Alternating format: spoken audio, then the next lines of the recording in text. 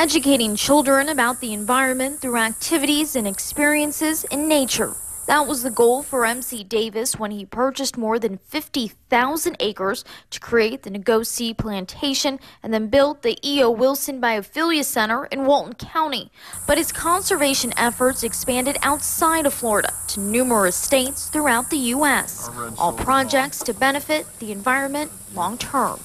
But people don't understand his passion for the environment. I mean, I, who does that? Who, how many people of his stature that you know will dedicate so much time and money into something that is 300 years in the future. Davis's love for nature and preserving the environment was contagious. Many say his passing is a huge loss for conservation, but those who worked with Davis will continue his legacy.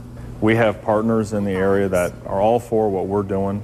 Uh, obviously, now there'll be more of a shift towards more fundraising, honestly. We're going to have to make sure that this goes on forever. And because Davis was a major benefactor to the E.O. Wilson Biophilia Center, employees are now finding other avenues to continue his conservation movement. We are looking forward to special events. We are starting to plan a 5K trail run. We're also planning on doing different galas um, and different events to have the people out here and see what we do. Remembering a man who stood for pride, preservation, and conservation. Half of the land on our planet needs to go towards conservation, towards the environment. And the MC believed in that wholeheartedly.